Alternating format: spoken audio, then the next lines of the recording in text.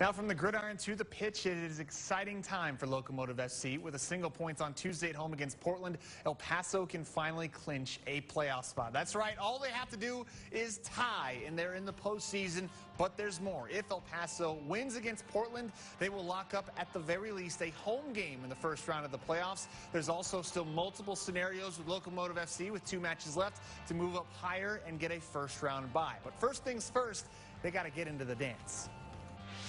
These moments don't come around that often. These, these, these kind of games, which are almost finals, they don't come around that often.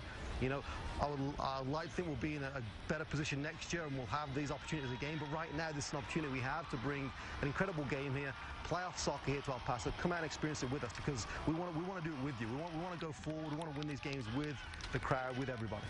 El Paso will host Portland at 7 p.m. Tuesday night at the Swoop with that playoff berth tantalizingly close.